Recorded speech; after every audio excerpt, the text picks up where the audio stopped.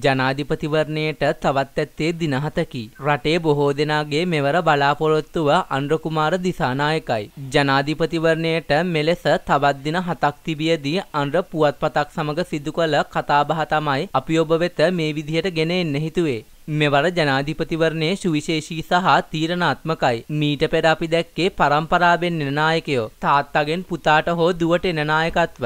නමුත් ඔබ එවැනි දේශපාලන පරම්පරාවකින් පිට සිටින පුද්ගලයෙක්. ඔබට මේක කොහොමද දැනෙන්නේ?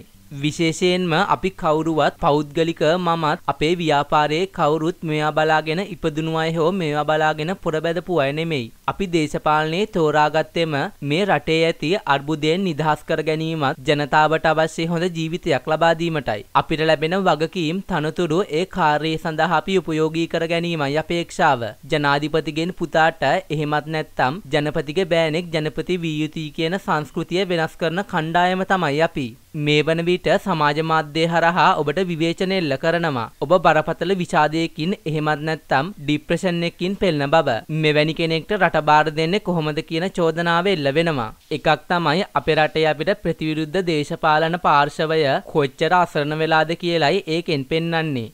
ඔබට ආතතියක් තියෙනවද ඇත්තටම? මට නම් වැනි ආතතියක් නෑ. සාමාන්‍ය උණක් හැදුනා. ප්‍රතිකාර ගත්තා. ඒත් වරුවයි විවේක ගත්තේ. පහුවදා ඉඳලා වැඩ කරන්න පටන් ගත්තා. මේ වගේ තුණ්ඩු විකෘති කරන ඒවට අපි පැමිණිලි කරා කියලා ලිපි හදන විශාල නාටකයක් රඟ දක්වනවා. රනිල් සජිත් දෙන්නට අද තියෙන්නේ මේ වගේ ආටක නාටක දේශපාලනයක්. ඇත්ත. ගැඹුරු විවේචනයක් නැහැ. මම ඔවුන්ට අනුකම්පා කරනවා ඔවුන් මේ තත්වයට ඇදබැටීම ගැන. අනිත් පැත්තෙන් අපි සතුටු වෙනවා ඔවුන්ට අපි පිළිබඳව ශක්ති ශක්තිමත් විවේචනයක් නැතුව මේ වගේ බාල විවේචන ඉදිරිපත් කිරීම ගැන. ඒ වගේම මේ මොහොතේ එල්ල කරන විවේචනයක් තමයි ජාතික ජනබලවේගය ආවත් උපරිම මාස 6යි දුවන්න පුළුවන් කියලා.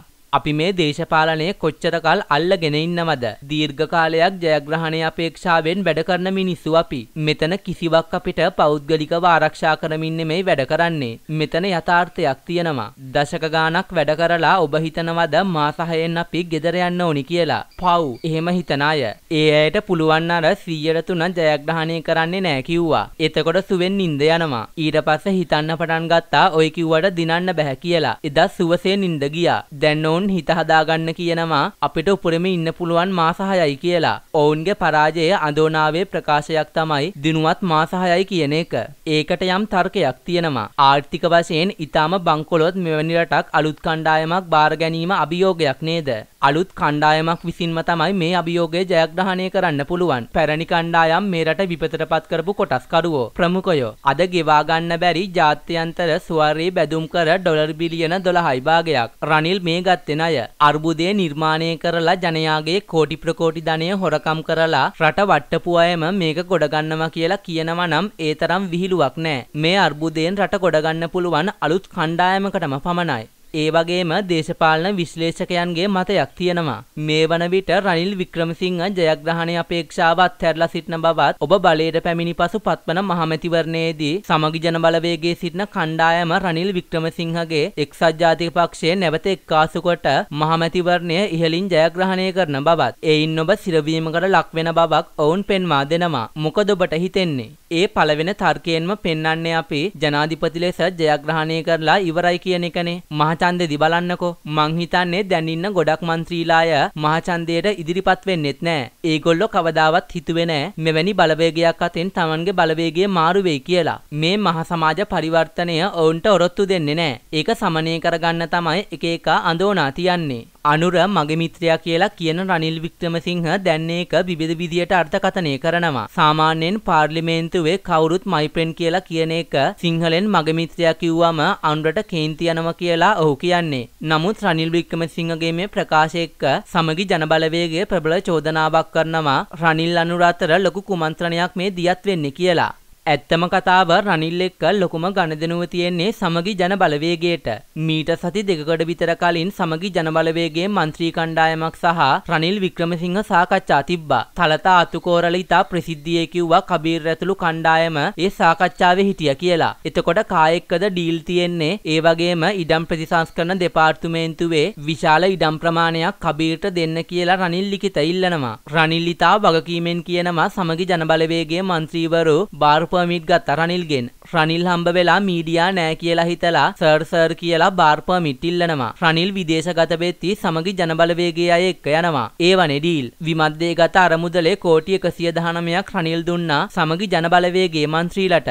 අපේ පක්ෂයේ කෙනෙක් ඕක කරා නම් එළියට ඇදලා දාලා මෙලහකට. හැබැයි සමගි ජනබලවේගයේ සජිත්ගේ අනුදැනුම ඇතිව තමයි විමද්දේ ගත අරමුදල් ගන්නේ. බාර් පර්මිට් ගන්නේ. ඉතාලපටිගේ පරිවර්තන භාවයක් නැති අහුවෙන අහුවෙන ගලෙන් ගහන පිරිසක් ඉඳලා ජනතාව ජනතාව කලබල වී යුතු නෑ. ඔබ මේ වන විට රටේ අතිශය ජනප්‍රියම දේශපාලඥයා වී හමාරයි. ඔබට විශාල රැල්ලක් තිබෙනවා. නමුත් ඔබ වටා සිටින අයගෙන් ඉදිරියට ගෙන යන්නට අවශ්‍ය සහාය ඔබ බලාපොරොත්තු වෙන ලෙස ලැබෙයිද? අනිවාර්යෙන් අපි සාමූහික කණ්ඩායමක්. අනිත් හැමදෙනාම තමන්ගේ පවුල තමන්ගේ බලය වෙනුවෙන් තමයි වැඩ කරන්නේ. උදාහරණයක් විදිහට චම්පික කැමති සජිත් පරදිනවාට. ඒ එයාට එතන නායකයා වෙන්න ඕනේ. සමහරු කැමති රනිල් පරදිනවා නම් එයාගේ නායකත්වය ගන්න. ඒව එකිනෙකට එරෙහි යටිගේම් සහිත එකතුවක්. ජාතික ජනබලවේගයේ පොදු අරමුණක සිටින සාමූහික ව්‍යාපාරයක්. හොඳම ටීම් එක සහ හොඳම එකතුව තියෙන්නේ ජාතික ජනබලවේගයට. මට සහාය නෙමෙයි ඇත්තටම මම සහ ඔවුන් එක තමයි මේ අභියෝගය ජයග්‍රහණය කරන්නේ.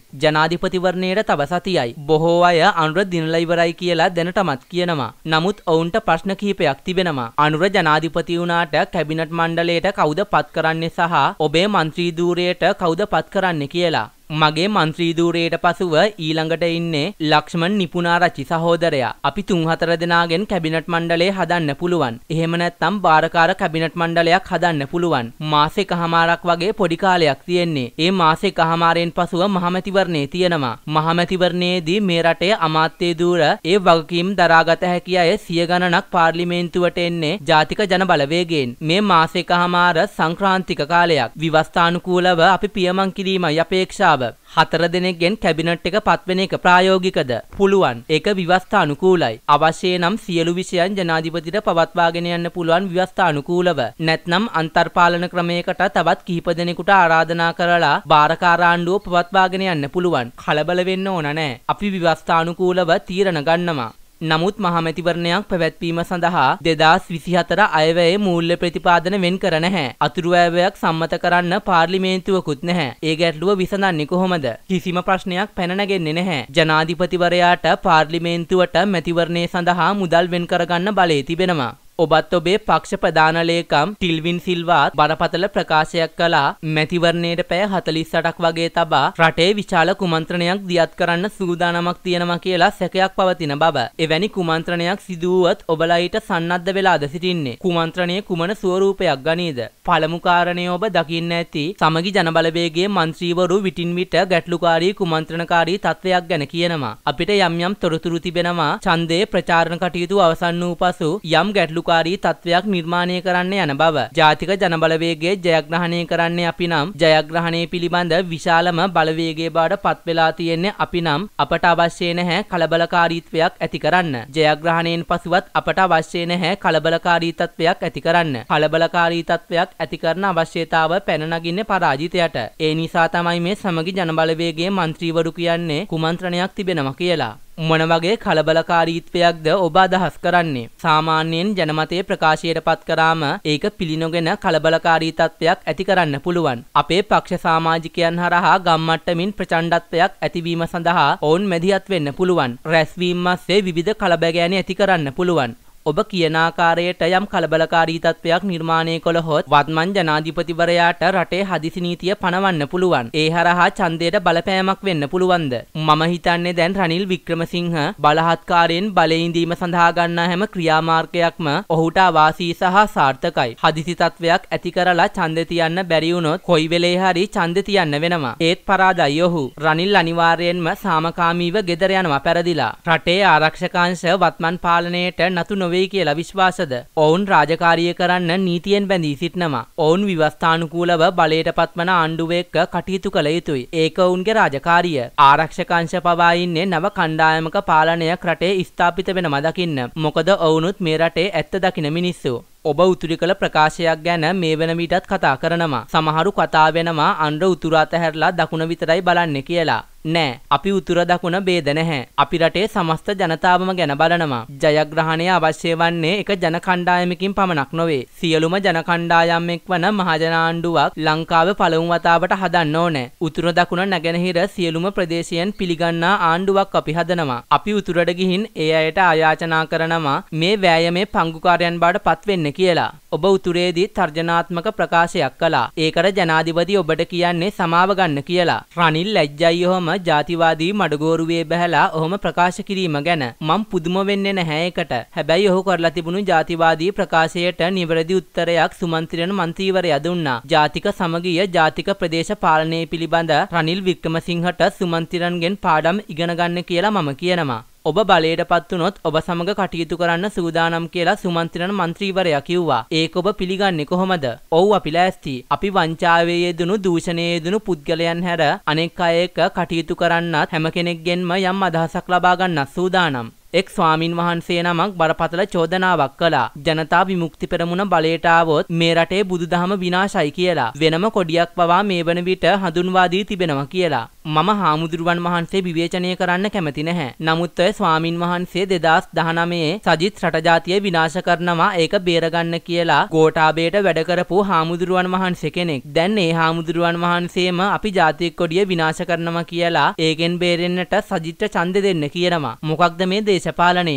බුදුදහමට තියෙන ප්‍රමුඛතාව ඔබලා නොදන්නවා කියලා බරපතල චෝදනාවක් තියෙනවා. කවුද කියන්නේ? ඒක දැනටමත් විවස්ථාවේ තියෙනවා. අපි බුදුදහමට තියෙන ප්‍රමුඛතාව විවස්ථාවෙන් ඉවත් කරන්නේ නැහැ. ඒ වගේම ජනාධිපති අභියෝග කරනවා තාම අන්රමට උත්තරයක් දුන්නේ නැහැ. ඔබලා අනුගමනය කරන්නේ අපනයන ආර්ථිකයේද ආනයන ආර්ථිකයක්ද කියලා. මං එකක් කියන්නම් මේ විදිහට හිටවන කවිමඩුව වගේ ඔහු එක වේදිකාවක ඉඳන් මං තව වේදිකාවක ඉඳන් කියනවට වඩා අපි එකට සාකච්ඡා කරමු. නමුත් ඔබ මගහරිනවා කියලානේ කියන්නේ. කවුද මගහරින්නේ? උත්තර දෙන්න. පළමු කොට එයා අපේ ආර්ථික ප්‍රතිපත්තීන් පිළිබඳ විවාදයක් අවශ්‍ය නම් අපි ඒ විවාදයට සූදානම්. එතකොට එයා කියනවා IMF එකත් එක්ක ඉන්න ඕනේ කියලා. IMF එක ඡන්දෙ ඉල්ලන්නේ නැහැ. ඡන්දෙ ඉල්ලන්නේ මම. අපි විවාද කළොත් රටම දැනගනි කවුද ඇත්ත කියන්නේ කවුද බොරු කියන්නේ කියලා. අනිත් එක රනිල් විවාදයට එන්නෙත් නෑ. ඒක ෂුවර්. ලංකාවේ දේශපාලලා විනිශ්චිතභාවය පදනම් කරගෙන මේ වෙද්දී ස්වෛරී බෙදුම්කරුවන් අරන් තියෙන අය ඒව විකුණා දැමීමේ තත්ත්වයක් මතුවෙලා කියලා ලෝකයේ ප්‍රමුඛතම ආර්ථික තොරතුරු සම්බාධක බ්ලූම්බර්ග් වෙබ් අඩවිය කියලා තියෙනවා. 2030 වෙද්දී කල්පිරෙන්න නියමිත ස්වෛරී බෙදුම්කරාගය ඉතා බරපතල ලෙස කඩා වැටෙනවා කියලා තියෙනවා පෙබරවාරි වෙද්දී. ණය ප්‍රතිව්‍යුහගත කරන සාකච්ඡා සම්බන්ධ රටේ නායකත්වයේ වෙනස් වීමත් මීට බලපායි කියලා ආර්ථික විශ්ලේෂකයෝ කියනවා. රනිල්ගේ ජනප්‍රියත්වය ඉතා අඩු වෙලා ඔහුගේ ප්‍රධානතම අභියෝගය ඔබ කියලා ඔවුන් පෙන්වා දෙනවා. විශේෂයෙන්ම ජාතික ජනබලවේගයේ බහුපාර්ශවීය ණයහිමියන් සමග එකග වූ ණය ප්‍රතිව්‍යුහගතකරණයට එරෙහිවීම ඔවුන් වැඩියෙන් අවධාරණය කරලා තිබෙනවා. එකක් තමයි මේ කඩාවැටීමට මුළුමනින්ම වක් කියන්න ඕන රනිල් වික්‍රමසිංහ. රනිල් අපි නොකියන දේවල් අපේ ප්‍රතිපත්ති ප්‍රකාශයෙන් නැති දේවල් ඔහු නැත්තම් මේ වෙද්දි රට වැටෙනවා කියලා කරන බියගැන්වීම් වලින් තමයි අදිස්ථාවර වෙලා තියෙන්නේ. රනිල්ගේ උපාය මාර්ගය වෙලා තියෙන්නේ යන යකා කොරහත් බිඳගෙන යනවා කියන මනෝභාවයකට ඔහු ඇවිත් කියලා තමයි පේන්නේ. ඒ නිසා මේ අවිනිශ්චිතතාවය නිර්මාණය කරලා තියෙන රනිල්. අපි IMF ගියේ ඔවුන් දී තිබෙන පරාමීතීන් ඇතුලේ අපේ සංශෝධනය කරනවා කියලා තියෙනවා. නමුත් රනිල් බයක් ඇති කරනවා ඔහු පෙරදුනොත් IMF එක නැති වෙනවා කියලා. රනිල් කැතපන්තේ දේශපාලනයක් කරනවා. ඔහු නැත්තම් රට නෑ කියලා. රනිල් වික්‍රමසිංහ IMF එකට ගියාට අනුර කුමාරට ඒ ශක්තිය නෑ කියලා මතයක් තියෙනවා. රනිල් මොකක්ද IMF ගියා කියලා කරපු විශේෂ දේ. ඇත්තටම මීට වඩා සාර්ථක ඇග්‍රීමන්ට් එකකට යන්න තිබ්බා රනිල් හිටියේ නැත්තම්. රනිල්ට ජනමරමක් නෑ. ඒ වගේම ඔබට විදේශ සම්බන්ධතා තහවුරු කරන්න දැනුම අත්දැකීම් නෑ කියන චෝදනාව කොහොමද ප්‍රතික්ෂේප කරන්නේ? දැනුම තිබ්බායනේ රට මේ තත්වයට ගෙනාවේ. ලෝක රටකට යන්න අපිට වීසා එකක් හම්බ වෙන්නේ නෑ. ලෝක රටකින් අපිට ණයක් දෙන්නේ නෑ. ගත්ත ණයත් අපිට ගෙවා ගන්න බැරි වෙලා තියෙනවා. සමස්තේම බිඳ වැට්ටුවේ ඔය අත්දැකීම් තියන අය. හැබැයි ලෝ විශ්වාසය දිනාගෙන සහාය ගන්න අපිට සැලැස්මක් තියෙනවා. අපි ඒ රටවල නියෝජිතයෝ එක්ක සාකච්ඡා පවා කරලා තියෙනවා. ඒ හින්දා අප ගැන ජනතාවට විශ්වාසය තබන්න දෙතුන් පාරක් හිතන්න ඕනේ නැහැ. යනුවෙන් අණ්ඩු කුමාර පුවත්පතක් සමග එලෙස කියා තිබුණා. සංවාදය අනුරාධා හේරත් උපුටා ගැනීම මව්බිම පුවත්පතෙන්